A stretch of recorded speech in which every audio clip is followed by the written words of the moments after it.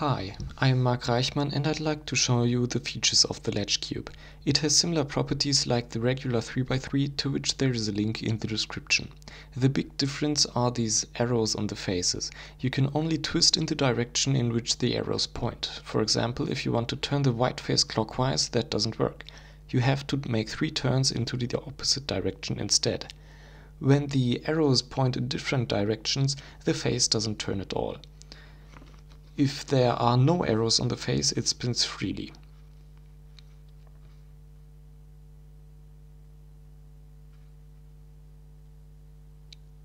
The white arrows spin clockwise. The black arrows spin counterclockwise. That means this corner is surrounded by counterclockwise spinning faces and this corner is surrounded by clockwise spinning faces. All the other corners are surrounded by both types. To allow movement only in one direction, all edges have latches that snap into the middle pieces, hence the name Latch Cube.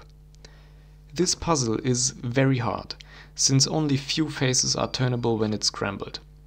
That's why the default algorithms mostly don't work.